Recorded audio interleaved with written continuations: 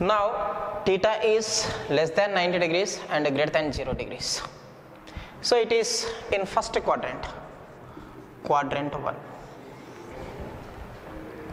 so sine of theta sine theta cos of theta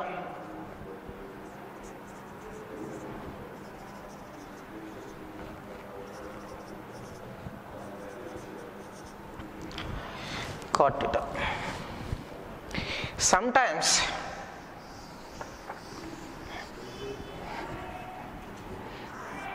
in first quadrant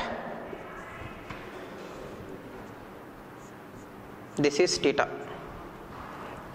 Suppose if he gives this is alpha but we need this theta value.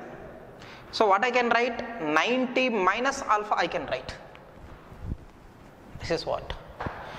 But this angle is in first quadrant so all trigonometric ratios are positive. That's why i am writing plus. And sine will become cos cos alpha.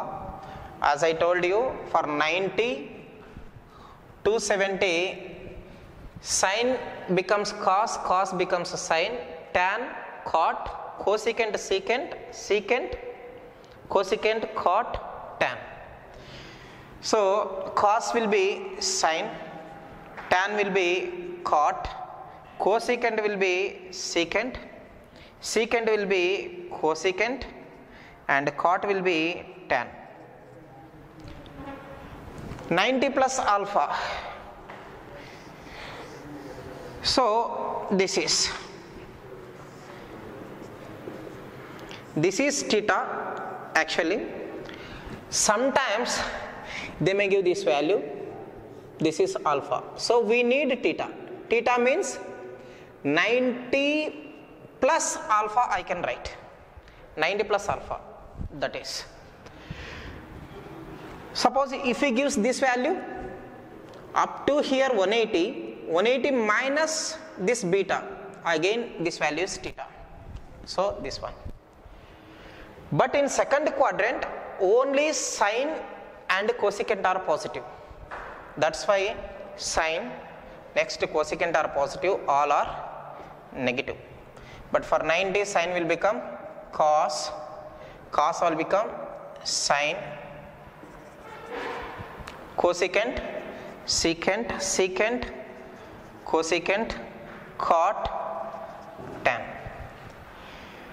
For 180 same ratios we are going to get but uh, only sine are positive in second quadrant. Sine and cosecant are positive. So sine will be sine beta. And uh, cos will be cos. Tan will be tan.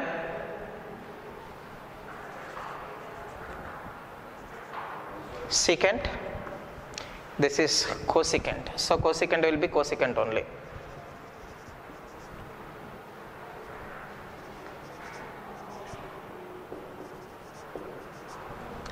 next.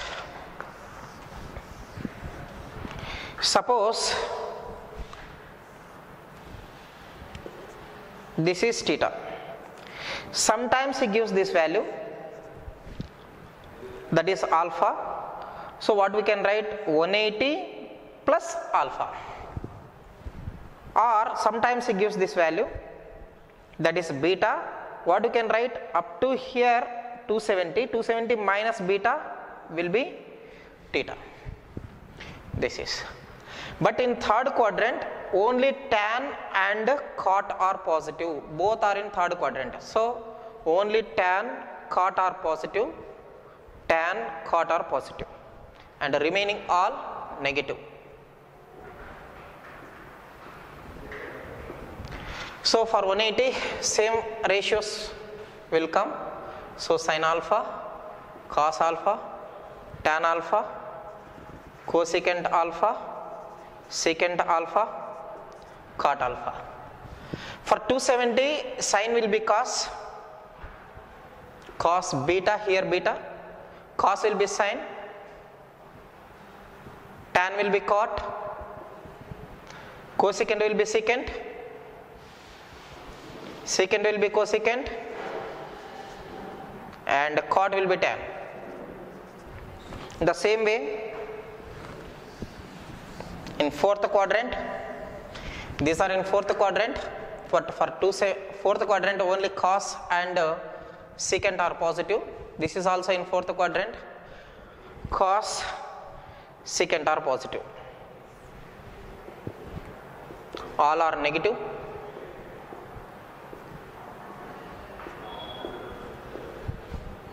and for 270 sine will be cos. Cos will be sine tan will be cot. Cosecant will be secant. Secant will be cosecant.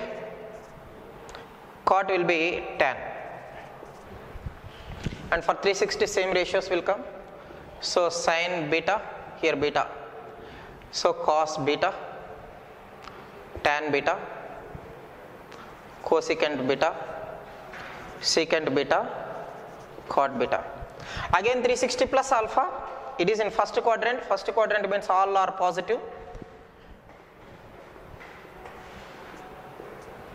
And for 360 same ratios will come. Sine alpha cos alpha tan alpha cosecant alpha, secant alpha, cot alpha.